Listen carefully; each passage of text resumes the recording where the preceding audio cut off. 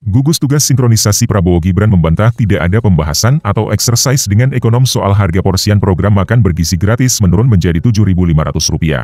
Tim Prabowo Gibran juga menegaskan, pembicaraan paling konkret dari program ini di tahun depan baru sekadar anggaran 71 triliun rupiah.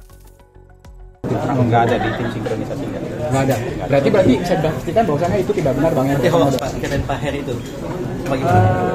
Saya, saya ingin menyampaikan bahwa tidak ada pembahasan itu sama sekali di tim dan di tim sinkronisasi.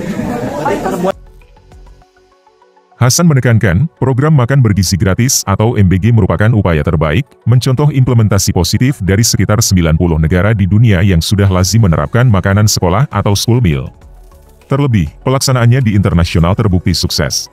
Program MBG juga merupakan program investasi sumber daya manusia untuk jangka panjang, yang jadi program unggulan, sekaligus pertama diimplementasikan Prabowo Gibran di Indonesia.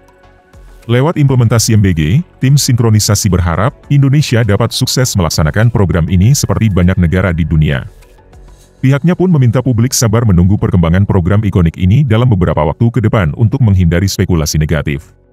Adapun, hal yang akan menjadi pembahasan adalah mengenai jumlah target sasaran, sebaran daerah pelaksana, ketersediaan pangan, sampai variasi menu makan.